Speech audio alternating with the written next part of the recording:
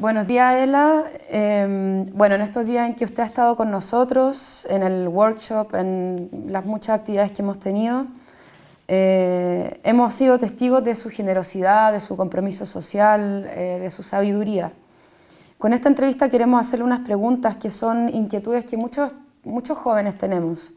Las respuestas y orientaciones que usted nos pueda dar son muy importantes para nosotros, dado que vivimos en un mundo que se ve muy complicado, en el que hay tanta confusión, tanta eh, información contradictoria, tantas dudas.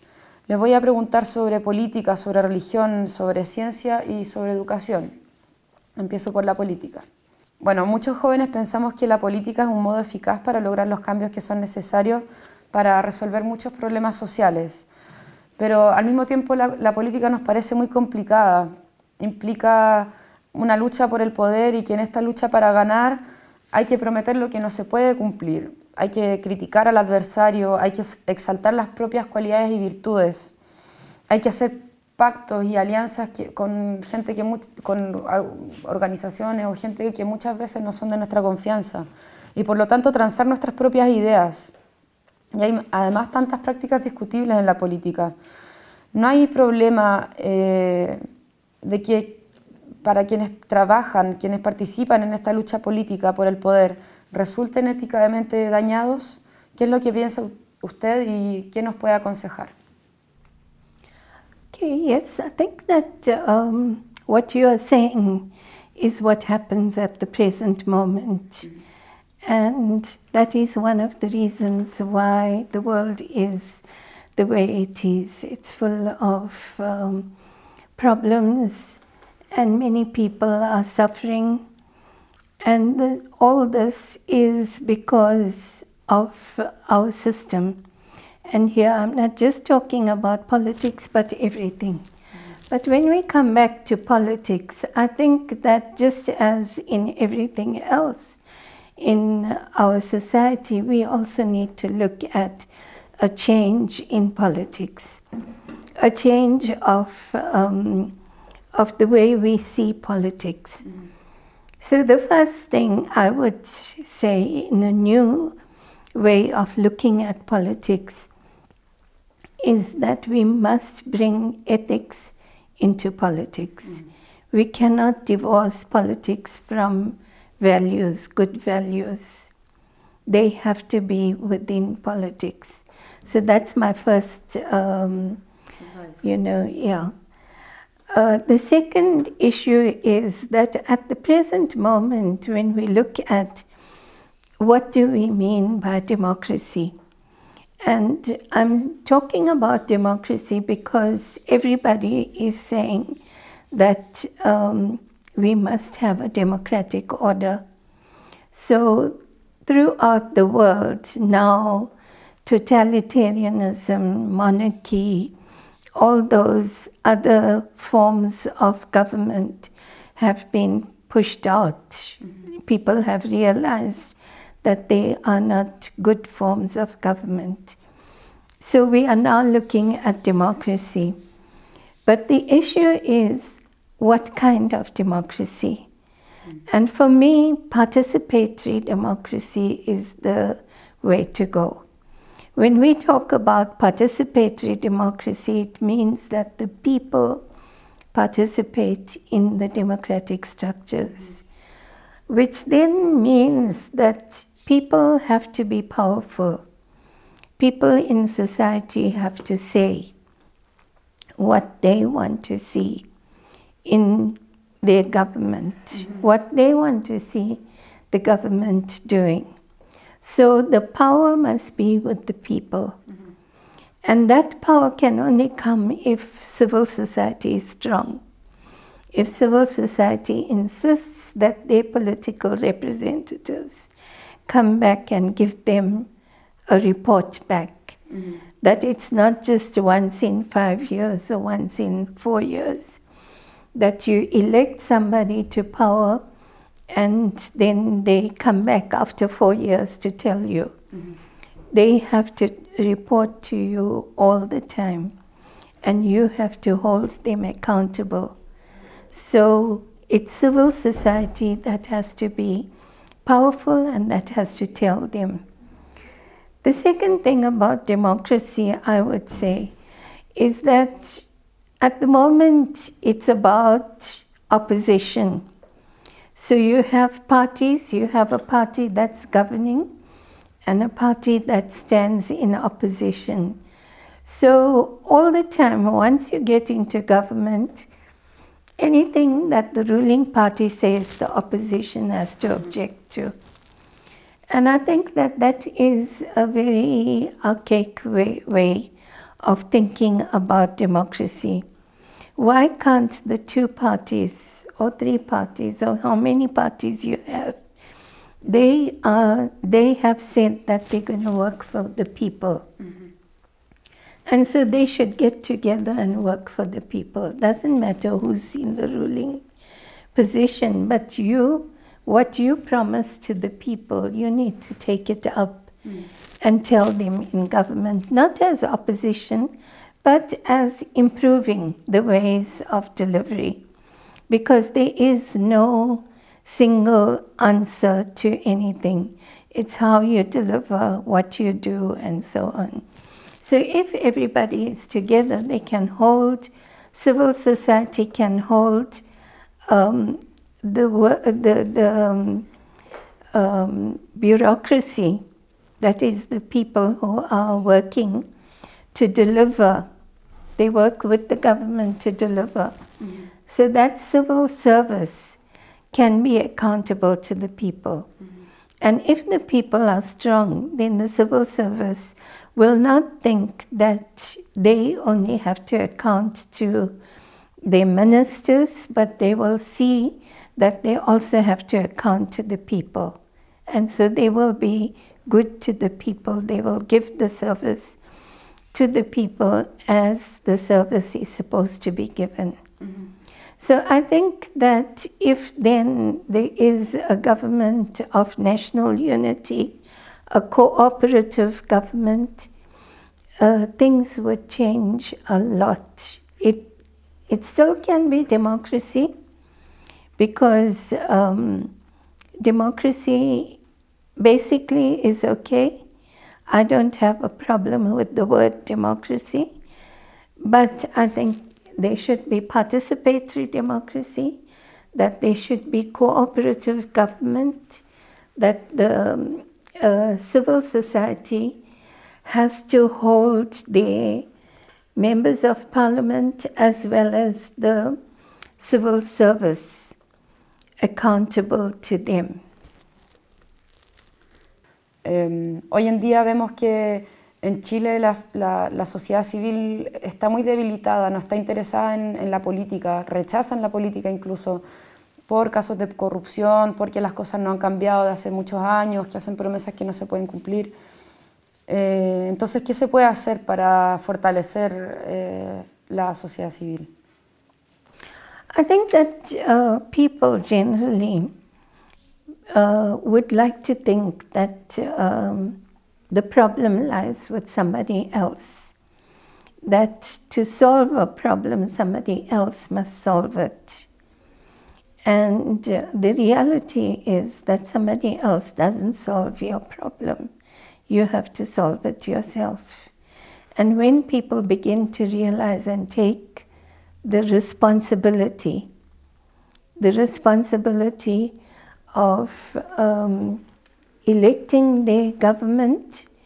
They should all participate in the election process.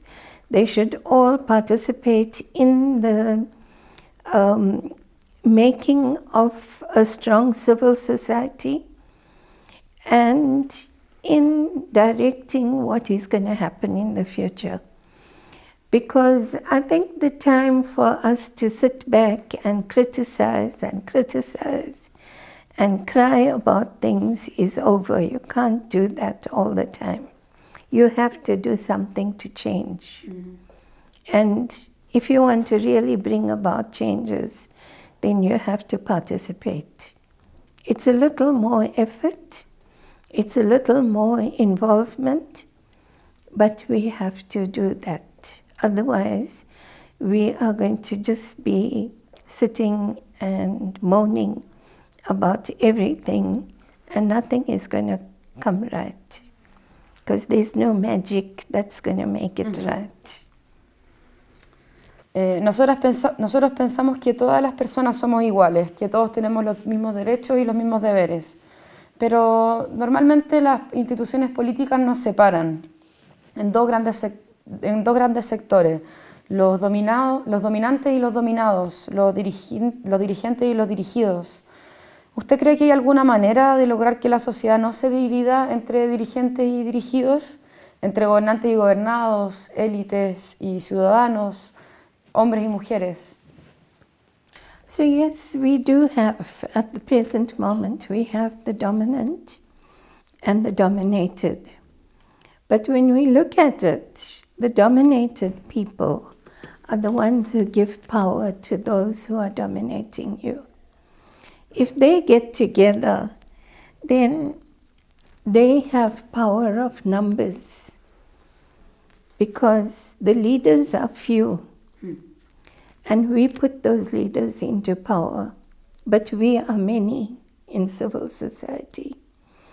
And we have the power of numbers.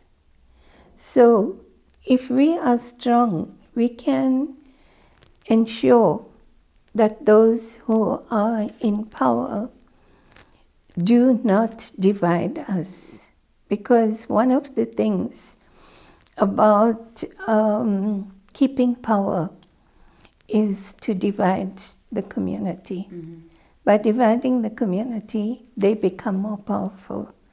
So, divide and rule is their motto, and we have to change that. That we are no longer going to be divided, we are all going to be together. And that applies to every kind of division, whether it is race division, whether it is class division, whether it is gender division. We have um, 50% of the world's population are women. And can the women remain unheard? Their voices are not heard by anyone. Now, why is it that their voices are not heard? If they get together, their voices will be heard because then their voices will be loud and clear. Mm-hmm. For as long as it's only a few people who are speaking, those voices are not going to be heard. For as long, long as we are divided, our voices won't be heard because we are divided. Therefore, it's important for us to come together and to look at what are the things that unite us. There will always be certain differences. We're not always going to see the world in the same way, but the differences are few. The points of unity are many, and we must look for the point of unity and unite. That is the way to build a strong civil society where you can you can say okay we disagree on this let's leave it aside. But we agree on this so let's unite around this. What we disagree on we can keep it aside and discuss it. You don't have to fight over it. But what we agree on let us unite around that and build a strong civil society a strong um, gender movement, and so on. Eh, usted habló mucho de, la unidad, de la unificación del pueblo. Esto me recuerda a una historia que me contó de Mandela cuando eh, lo, acusaron, lo acusaban de traidor eh, sus propios copartidarios, porque él estaba negociando con los blancos, él, él- él quería llegar a una paz con los blancos, no en el fondo dominarlos, no, no expulsarlos de África. Eh, ¿Qué es lo que hizo él en ese caso con, con estas acusaciones de, de traición? ¿Cuál es, la, ¿Cuál es la visión nueva que, que él, él brindó? I think it's the same as what happened with Gandhiji as well, because he also negotiated with the British. And uh, he was always very polite, very good to the British as well. And there were a few people who criticized Mandela, who criticized Gandhi as well. But by far the majority of the people appreciate what Mandela did because it's only a few people who want war and want violence. Not the majority of the people. The majority of the people want to live in peace. Mm. And if you can bring about peace by talking to people, by negotiating with people, I think that a big majority of people are happy with that. But what happens is that there are people who are troublemakers who will try to convince the majority of the people that the things that you are suffering today is because of what Mandela did, mm. which is not true, because you are suffering because of their, these leaders' problems. Mm.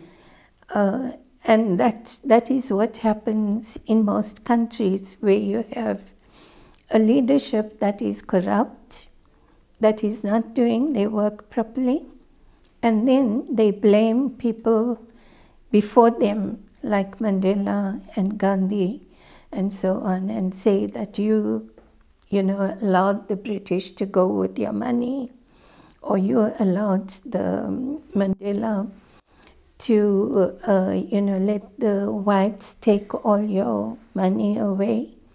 And that's why you are in poverty. Because mm-hmm. at the end of the day, it's about poverty, it's mm-hmm. about economics yeah.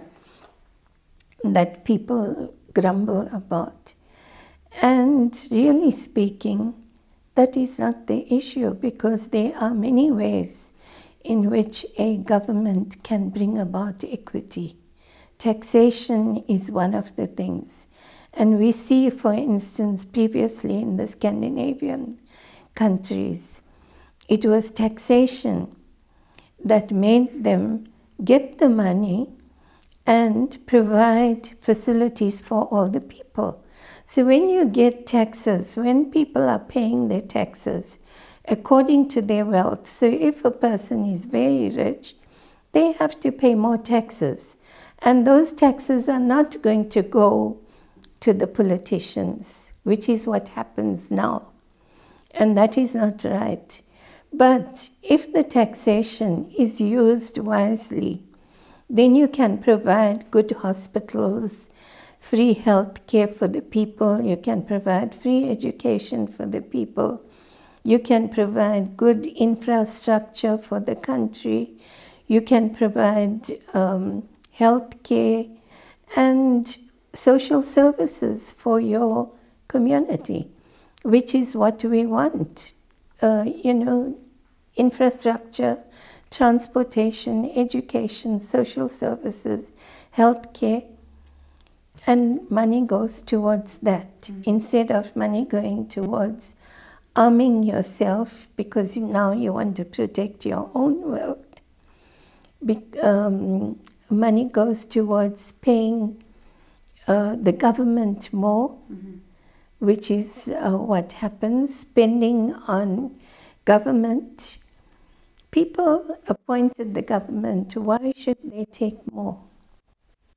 And this is where the problem is. It's not with the negotiators. The negotiators did it in good faith and they brought about peaceful changes. Now it's left to the government how they use mm-hmm. the power that they have now got.